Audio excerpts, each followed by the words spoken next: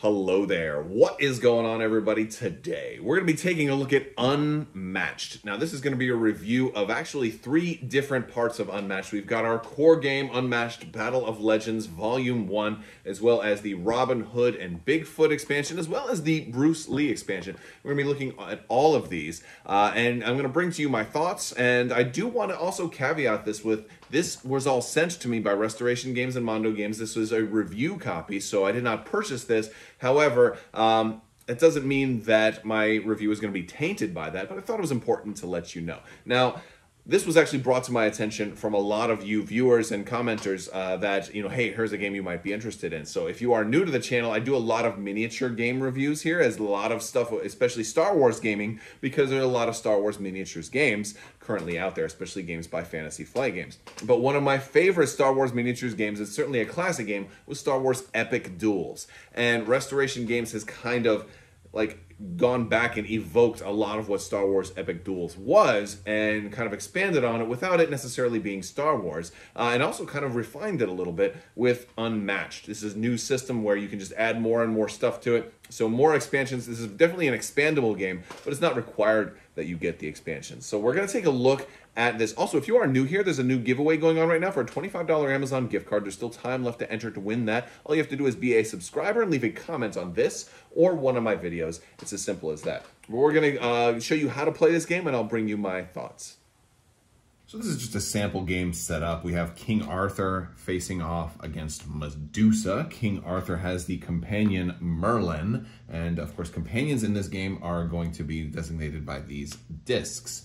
Um, now, Medusa happens to have three harpies, so she's got three discs, whereas King Arthur only has one. Uh, there are characters in this game that don't have any companions at all. But in the case that uh, you do have a companion, you're going to note if you have mo more than one, they're only going to have one hit point each. Although if you have only one, they're going to have their own hit point dial. So Merlin has seven hit points, where King Arthur actually has uh, 18. And of course, the little arrow down at the top is going to dictate their starting health. Uh, if we go higher, I'd be wrapping all the way back around to zero. So a pretty standard little health dial, whereas uh, you see Medusa only has the one dial. She has 16 health and has no dials for her harpies because they all have one hit point each. Now, uh, each character is going to have their, their miniature, their sidekicks. They're going to have a deck of cards. So Medusa is going to have a deck of cards, which you will shuffle and then draw five to start you out. You have a hand limit of seven. And then you are also going to have your helper card. Now this is going to have basically the basic three things you can do on your turn. Uh, you've got two different actions you can take and they can be uh, maneuver, attack, or scheme. And uh, on the other side is going to be all the special information about your particular character. Whether you are a ranged attack or melee attack, uh, your sidekicks if they're ranged attack or melee attack, as well as a reminder for your health starting, uh, any special abilities are, uh, that you have, and your movement value, which is going to be on that card. If you'll notice, uh, Medusa has a starting movement value of three, whereas King Arthur has a starting movement value of two. We're going to talk about the different actions that you can perform, uh, but you're going to be going back and forth until you defeat the enemy's champion, which is going to be their main character or their miniature. Uh, if you if their sidekicks are left standing, they use they still lose. But basically, this is a straight up battle royale, Super Smash Brothers legend, right? Something like that. Uh, you're trying to just kill your opponent's fighter, and in a multiplayer game, you're trying to be the last uh, last champion standing. Uh, decks of cards, because they're all pretty much the same basic design in that there's uh, certain things we need to look at on each of the cards. So uh, let me start with this particular one. Actually, this is a very powerful card, uh, but the first thing we're going to look at is uh, the top, uh, this section up here. First off is going to say who can play it. This is part of Medusa's deck, but Medusa also has harpies. And so if you wanted to attack, you're going to be able to only, you know, if you're going to play this card, Medusa is the one that has to play it. Um, and this is going to be an attack symbol, and this is going to be the attack value. So if you were to attack with this card, you would be attacking with a strength of two. Um, then at the bottom here, you're going to have an additional ability. So if you do play this card to attack after combat, you're going to follow whatever it says. So in this case, if you won, you deal eight addition, additional damage to an opposing fighter. So um, this is a, you know, like a, a weaker attack, but if it hits, it's going to hit really, really strong. So basically, if they don't defend against it, that's what's going to happen. We'll talk a little bit about attack in a moment. But there's also another part on a card, and this is the boost value over here. And this is a uh, something that you can do. You can discard a card when you're moving to gain its boost value, and we're going to reference that on other cards. A lot of other cards will have different boost values. Four is actually exceptionally high. Most boost values are one, uh, between one and three. You have a one, a two, and a three right there. Um, so that's what an attack card looks like. There's defense cards uh, which are going to be blue. And that's something when you're being attacked, you'll be able to discard a defense card. But again, this would only work if Medusa was being attacked. Uh, if one of the Harpies were being attacked, uh, you wouldn't be able to discard that. There are also purple cards. These can be used as attack or defense. It's your choice whenever you want to play them. So these are a lot more versatile and a lot more, you know, you know, uh, effective. Uh, this one happens to be Harpy, so Medusa can't use this one to attack or defend.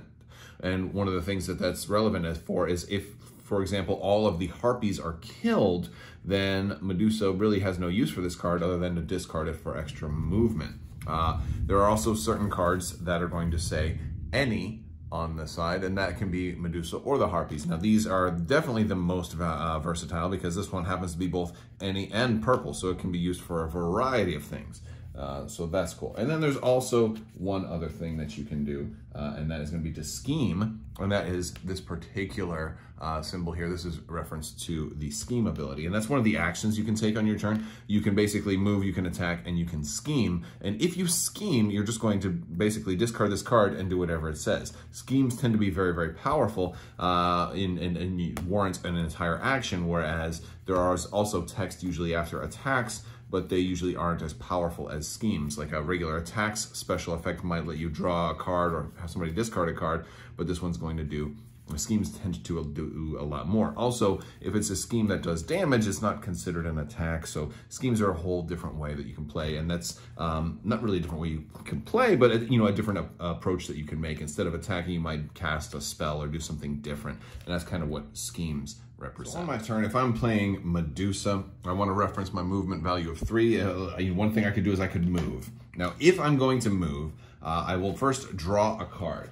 Now keep in mind you got a hand limit of seven, uh, but I, will draw a card first because I could always discard this card to also add its boost value to my movement. So while my movement is three, I could also then turn around and immediately discard this card and have a movement value of five which is very nice. Now, if I'm going to do that, uh, you know, I could, let's just say I did that and I have, now have a movement value of five. I can move Medusa one, two, three, uh, four, five, something like that, perhaps. Now, I have to follow the lines. I can move through friendly units, but I cannot move through enemy units. And of course, I cannot end my movement on an occupied uh, uh space.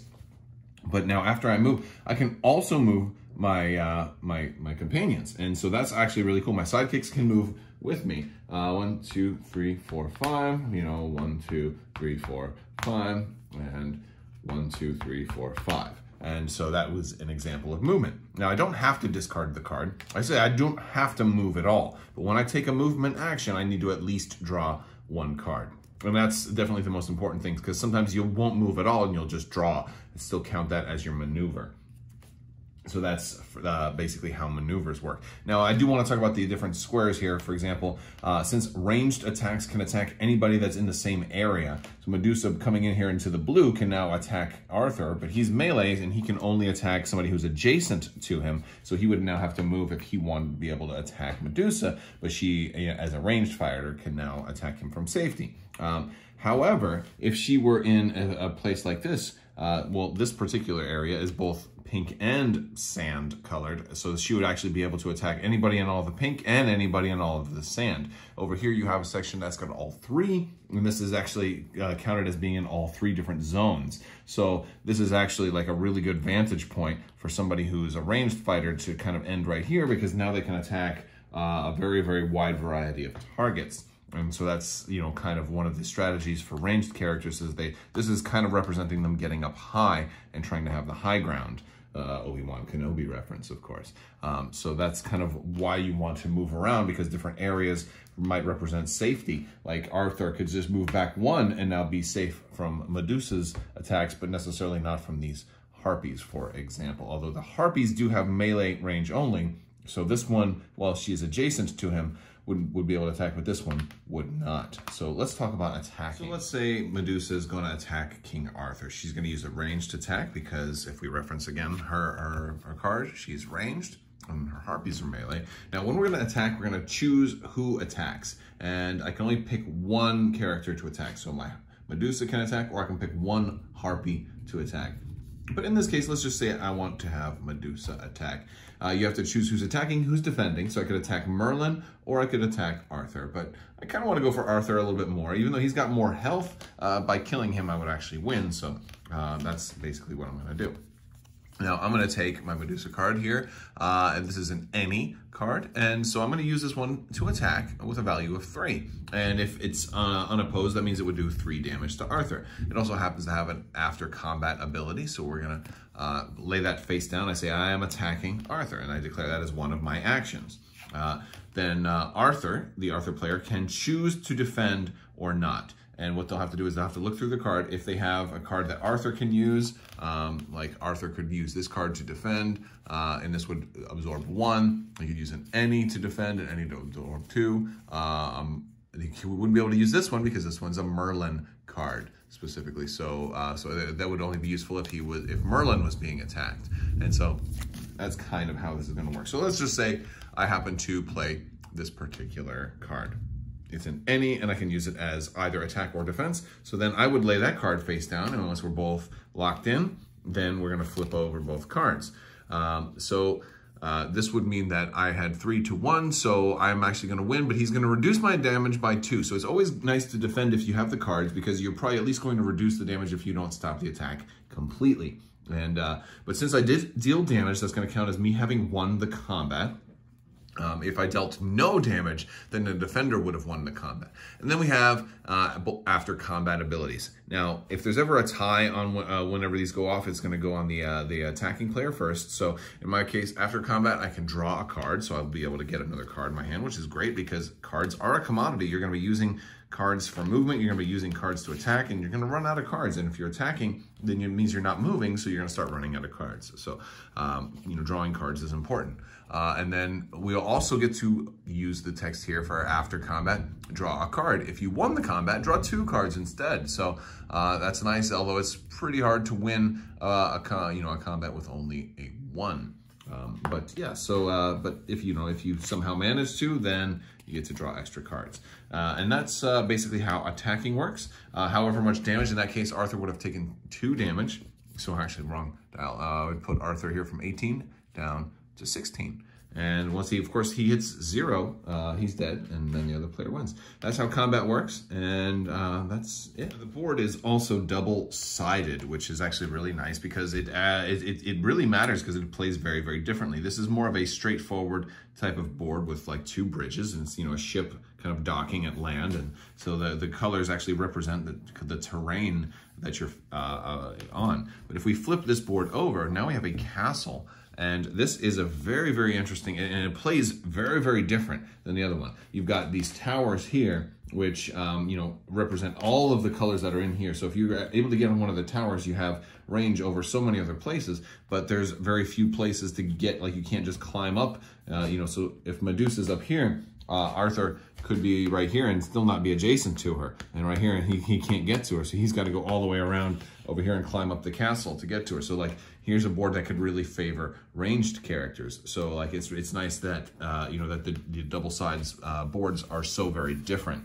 Um, that uh, this one you know, with its narrow bridges and stuff can potentially favor melee characters a little bit more, uh, or at least be a little bit more balanced. But I, I like the, the difference between the, the boards. Let's talk about some of the different fighters too. So first off, we talked about Medusa a little bit. She's a ranged uh, attacker, so that is certainly a big advantage that she's got. Also, if people try to get close to her, she can deal damage to somebody in her zone. So if you start out uh, at the start of her turn, when you're in her zone, she can do a free damage to you. Uh, she also has three harpies, uh, which she, she, could be used to kind of block off approaches to her. Um, and uh, she has a lot of ranged attack cards. Uh, also, her, her stone, Gaze of Stone is very strong. she can she can do uh, a lot of interesting things. Uh, man, she's got a lot of those gazes of stone. So she's kind of playing a little bit of a, a bluff game. Um, also, uh, some characters have the ability to boost attacks. And so if you wanted to be able to, during combat, you could boost an attack. So you're going to be using that boost value of another card, kind of like you would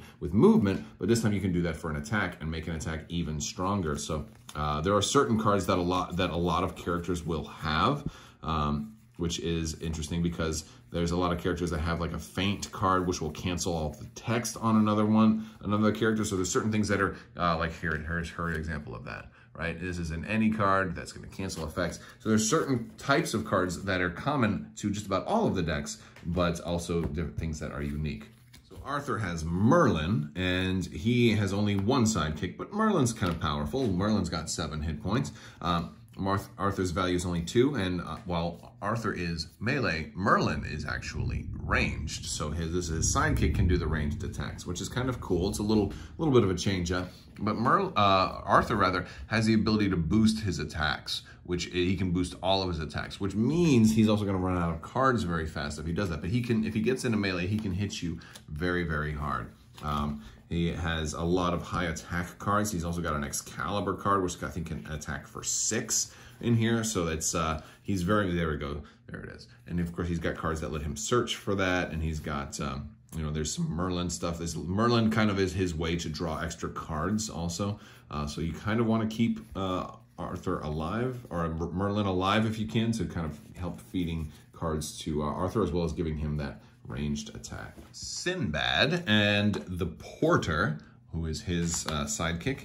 Uh, Sinbad is going to start off with 15 health, and the Porter starts off with 6. Now, they are both melee, uh, and Sinbad has Voyage cards, and we'll look at a few of those, but he kind of ramps up. I, I, kind of think of Sinbad as somebody who kind of starts out a little bit slower, uh, but gets stronger and stronger as the game progresses, which can make him very deadly in a multiplayer game if he gets ignored and gets a chance to get a lot of uh, Voyage cards in his discard pile. So like he's got Voyage, Home, uh, and a lot of these, a lot of his Voyage cards tend to uh, take advantage of the more Voyage cards you have in your discard pile, the stronger they become and that's uh, you know he, has got a lot of voyage to the city of uh, the king of Serendib, voyage to the valley of the uh, giant snakes. You know, and not all of his cards are voyages. You know, the porter's there to help you draw more cards and to try to get those voyages uh, into your uh, into your discard pile. But uh, but he has a lot of attack. He's melee. Um, but and then again his treasure cards again drawing three cards for one card that's of course if you are going to scheme with a card like that. Um, but he's got some, you know, he's definitely got some melee attacks and, uh, you know, he's got a lot of the momentum shift cards and there are a lot of characters that have these and this is basically if you move and attack, it's going to count as a five instead of a three. Uh, you'll see these in a lot of uh, decks as well, but as a melee character, he's going to rely heavily on attacks kind of like that like the Alice you know from Alice in Wonderland, but we do have Alice here with a giant blade, uh, and she comes with her trusty sidekick, the Jabberwock. Uh, Alice starts out with only 13 health, but the Jabberwock starts out with 8, so a little bit less health for the hero, uh, but more health for the for the companion there. They are also both melee, and Alice has a, a special little key uh, that is small on one side and big on the other. And this allows her to actually have a really interesting play style uh, because on her card here, you're gonna choose if she's small or big at the beginning of the game. And when she's big, uh, you add two to the value of all of her attack cards. When she's small, you add one to the value of all of her defense cards. And that's actually a big uh, factor into this because a lot of her cards are gonna have you change size, like uh, the Eat Me card, which is uh, move Alice up to three spaces and change size and there's certain things if she's big, if she's small, and it's to be referenced a lot. Her size is to be referenced on a lot of different cards. Uh, like you can attack. Uh, this would make that actually up to, that would make that five if you were big. And then after combat, move Alice and change sizes. So you can attack and then immediately switch into your defensive size. So mastering the size change would be very important for her.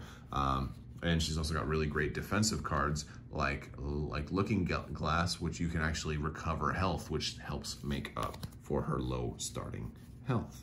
I also have to give huge, huge props to the insert on, on this game. It's absolutely spectacular. It just makes it so easy to just grab your character, grab their deck, um, underneath the decks, and they're easy to reach in here too because look, I just you stick your finger there, pull the whole deck out. You've got oh, you've got the dial underneath there, and the dials are all underneath there. You got all the companions right here. If they have if they have multiple dials, the smaller dials underneath that. So it's just, it's really easy to grab what you need and start playing. There's like virtually no setup time. You get this game set up in 20 seconds or less. It's absolutely fantastic. So, uh, and again, this is Battle of Legends Volume 1 from the Unmatched system. We've got some more to take a look at also. We also have the Bruce Lee expansion. This is not a standalone expansion. This is just a single miniature. Uh, so you, you know, obviously cannot play this. It's not a complete game. But we've got our Bruce Lee miniature here, which is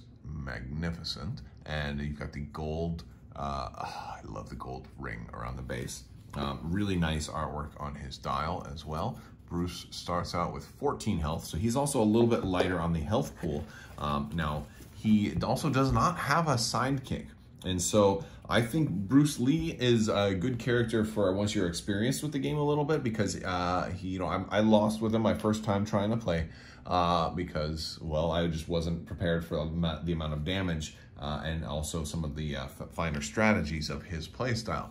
Now, uh, he does have at the end of your turn, you may move Bruce Lee one space. This is especially good if you're fighting somebody and you want to spend all of your actions to attack, but then you're right next to somebody and they might counterattack you with your lower health pool. You can just step back and force them to have to spend an action to try to move uh, back into melee combat with you. Uh, so that much is really nice. Now, uh, Bruce has a lot of uh, the standard types of cards like Feint. I was talking about that some more. Uh, and he also has uh, where was momentum shift if you know if you move an attack you're going to get that so he's got a lot of those melee cards another advantage is you don't have any sidekick cards so you're never going to get a card that you can't use so that much is really nice but uh, the, the big thing about Bruce is that he's got uh, Jeet Kune Do cards and these are unique in that they're going to gain you an extra action. Now this is a big deal because you only have two actions. So if you wanted to, uh, you know, move up to somebody and then attack, and you attack with a Jeet Kune Do card, you know, I mean, you know, they don't, maybe they don't defend, maybe they do defend, but either way, you are going to, look, and it cancels all effects on your opponent's card. So they can't even stop this, right? That's with this particular one. But all, just about all of them give you the gain one action um, and, you, and you're just and you're going to keep going. You can you can you know if you have enough of these in your hand, uh, you can attack multiple times in a single round, uh, and and potentially you know take somebody all, almost all the way down. So it's you know he has devastating you know, you know if you can really do it. Pardon the sound effects. And of course, as somebody who's got uh, lightsaber nunchucks like all over the place is my favorite thing. You know, I'm a big nunchuck fan. Of course, Bruce Lee has the nunchaku. Uh, and if you were to like, if you started your uh, your turn in in melee range of somebody, in theory you could play this first, all of your attacks gain plus one value, and then play a couple of Jeet Kune Do cards, and uh, just be good to go. Like that's just insane. Plus, he can get Jeet Kune Do cards back from his discard pile back into his hand, and uh, so like he's got a lot of uh, a lot of potential if he can get the right cards. So that's uh, kind of the cool thing about Bruce Lee. Plus, he's Bruce Lee. He's got nunchucks. He's just he's the he's the best. So big fan this. And the last set I want to show you is Robin Hood versus Bigfoot. Now, this one is actually a standalone expansion because it does come with a board. Uh, now, this board can really only be used for two players because it's a slightly smaller board, uh, but it is also double-sided. You've got uh, the Yukon on this side, and you've got Sherwood Forest on this side. So, uh, you know, and this one looks actually pretty cool. So, so these are uh, so these are nice. And a lot again, again, if you're only playing two players, this is all you need anyway, because there's actually still a lot of spaces on here. It's just a physically smaller board, and it actually folds up into a like a trifold, which is kind of cool. You don't see a whole lot of boards that have the three-way fold, so that's that much is pretty cool. Now in this pack, we're going to get Bigfoot, who just looks awesome. There's a lot of shading on here. You may have seen my unboxing already. Uh, Bigfoot is going to come with the, the jackalope. Uh, and this is my maybe my one criticism of, of this box is that it doesn't have the uh, the ease of getting the cards that the other boxes have because they used to have this this indentation where you could just stick your finger in there and, and pull the whole deck out. but it's like you you you don't kind of you kind of don't get them all quite so easily. Uh, but it takes a little bit of finesse to get it. Um, so Bigfoot is going to start with 16 health. He's got a, a good health pool. Jackalope has six. Um, and at the end of your turn, if there are no opposing fighters in Bigfoot's zone, you can draw a card. Uh, and he kind of plays where he wants to kind of be alone uh, or run away. Uh, but uh, but at the same time, when he gets really mad, he can he can hit you really hard. And that's kind of what he wants to kind of be in a zone by himself which is harder to do in a two-player game. Um, but again, against Robin Hood, who's a ranged character, it might be a little bit more feasible because Robin Hood's going to probably stay a little bit away from you. Uh, the Jackalope can move really, really far and then damage everybody. So if you can keep the Jackalope alive, he can kind of charge and go in there and do stuff. Um, but Bigfoot has like, he's got really strong attacks. Look at this, larger than life with six attacks. So He's got very, very strong attacks and he has a lot of movement abilities that can let him move through uh, opposing characters. But I think he'd be a lot of fun in a very crowded game and a big multiplayer game. I think he can have a lot of fun with that.